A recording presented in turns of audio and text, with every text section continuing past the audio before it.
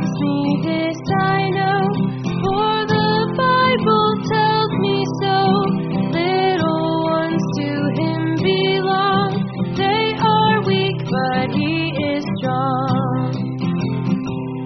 Hello, my dear children. Auntie hopes and prays that y'all are all keeping well and are having a wonderful Sunday. And Auntie prays that this week will be another wonderful week for all of y'all. So, today our lesson is about being wise and being safe, right? So, to understand a bit more about our lesson for today, let's head into our Bible passage first, right? Have you all heard of the book of Proverbs? Yes, I'm sure you all must have heard, right? Of the book of Proverbs. It is a book full of wisdom and wise sayings, right? So, if any of us reads the book of Proverbs, we will learn such a lot of advice that we can take for our lives, right? And things that we can all live by. So, a Bible passage is taken from Proverbs today, right? And the book of Proverbs is in the Old Testament. Proverbs chapter 3, verses 21 and 22 is where our reading is taken from. So, let's see what it says. My child, do not let wisdom and understanding out of your sight. Preserve sound judgment and discretion. They will be life for you, an ornament to grace your neck.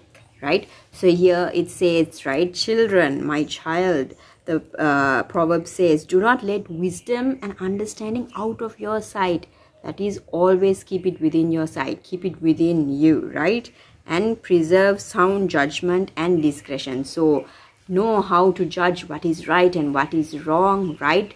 Um, and keep yourself uh, safe, right? Uh, discretion is what you say and uh, who you speak to is something that you have to uh, be mindful of, right? And here it also says that it will be like a necklace for you. What does that mean? What do we wear on our necks? Chains or necklaces, right? Correct. But why do we wear it? Because it is something beautiful, right? Most ladies wear it, most girls wear them, right? For special occasions sometimes, right? It's because it's beautiful, it's nice. We want to show it off, but also it is very precious to us right it might be expensive or not but it's something that we care about a lot and so the proverb says that that is how we should treat our wisdom and our understanding and our good judgment right? That we it should be something that is important to us that we keep close to ourselves and uh, that is uh, something that we should always treasure in our lives right? Our wisdom right?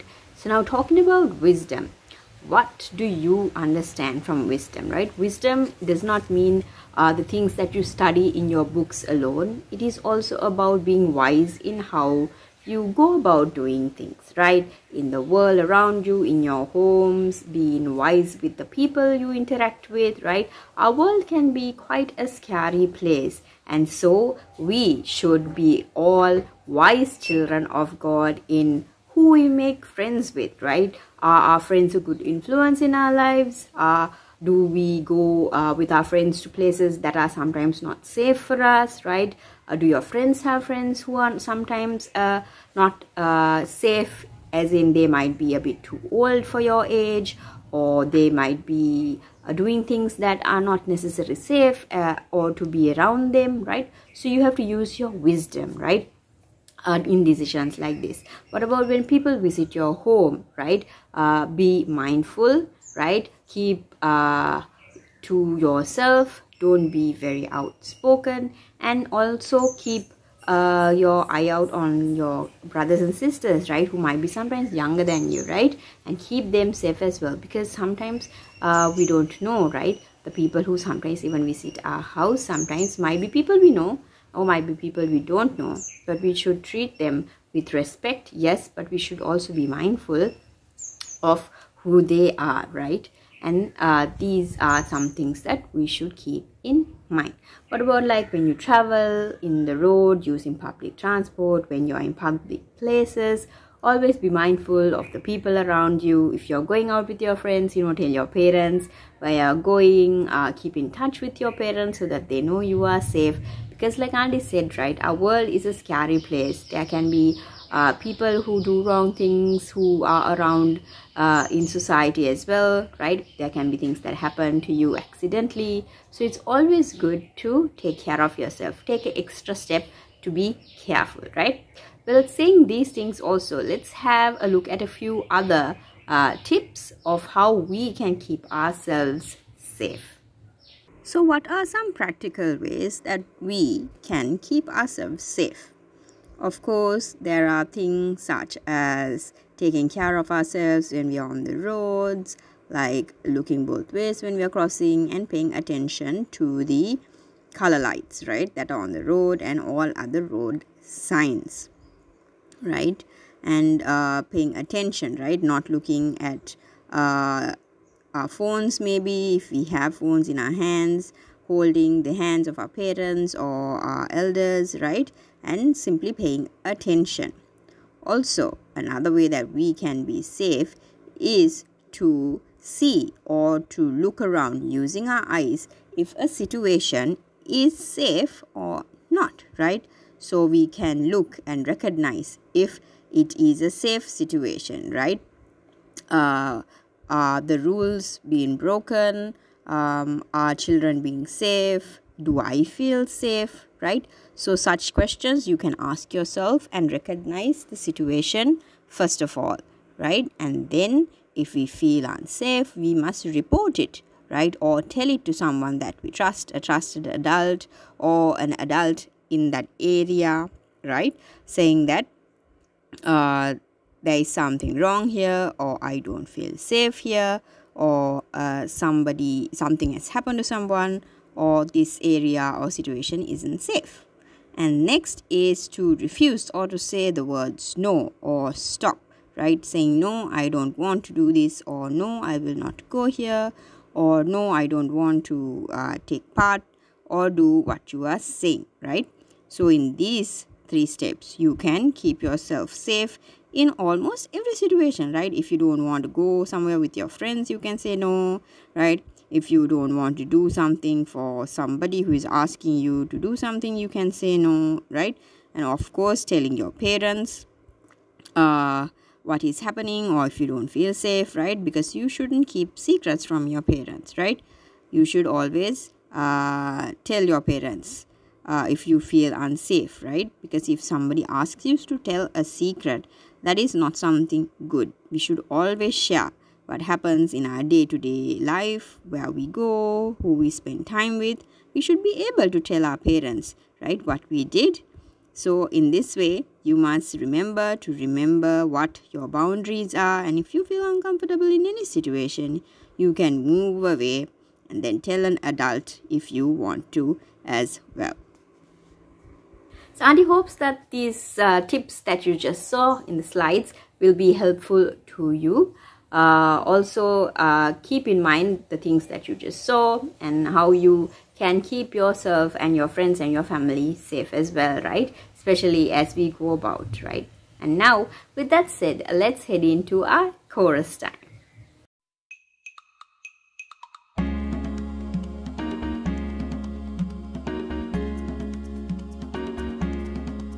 One star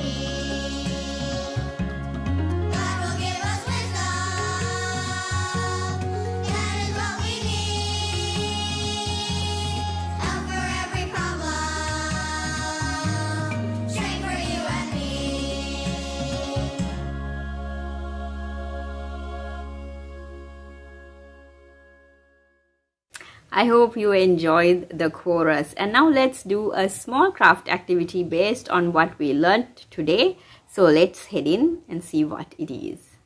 So for her craft activity, Auntie used a cardboard, right? That's around this much in length and auntie covered it with normal white A4 paper right and then auntie did this on the other side it's a bookmark right so ways to stay safe. So like the slides we just saw uh, remind us right how to keep ourselves safe. We have to use our eyes to see if the situation is safe if the place is safe uh, if we feel that the person is safe or not. So we have to use our eyes to first see if uh, the situation is safe, right? And if it is not safe, what do you do? You do use your mouth and use your voice and speak out. You know, tell somebody uh, something's happening or this place is not safe, I don't feel safe, etc. And then you can also use your words to uh, say stop or no, or you can use your hand to say no, I don't want to do this, right? or no I will not go there right so you can use your words to say uh, stop or no or your hands right to say uh, no that you will not be doing uh, what they want you to do right so this is a bookmark a fun and creative bookmark to help us remember what we learned today so these of course aren't just uh, cut out and pasted together and you can do it in any creative way that you can to help you remember what we learned today. So I hope the craft activity was fun and enjoyable and I hope that it also serves as a reminder, right, to what we learned today and about how we should use our wisdom and our knowledge and our understanding that God has given us, right, to keep uh, ourselves and the people we love safe. And also remember that if you feel that oh no i don't know. I don't think i can uh, be this wise or i don't know if the decisions that i make are correct. How do i know if the decisions i make are correct? And if you are concerned about these things you can always pray and ask god right? Because he freely gives to those who ask. Pray to god and ask for wisdom and he is sure to provide you with it right? With that said let's all join our hands and pray. Let us pray Dear Lord Jesus, we thank you for this beautiful Sunday that you have given us. Dear Lord, we thank you for the lessons that we learned today.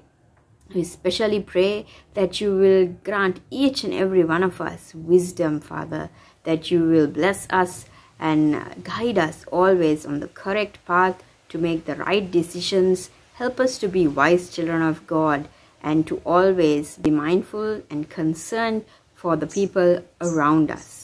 Help us to be helpful to those we meet and to be there for our friends and our family in times of need.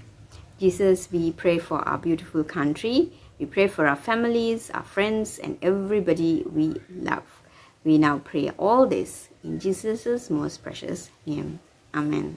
I hope you enjoyed today's lesson as much as Auntie enjoyed giving it and sharing it out with you today. So I hope that you take this lesson to heart and you uh, remember and go through the lesson once again uh, to keep in mind the things that you learned especially and auntie hopes that you have a beautiful and blessed week ahead so till auntie sees you next week again with another amazing sunday school lesson and bible story please take care of yourselves. Be obedient to your parents and your guardians. And remember that jesus loves each and every one of you very very much.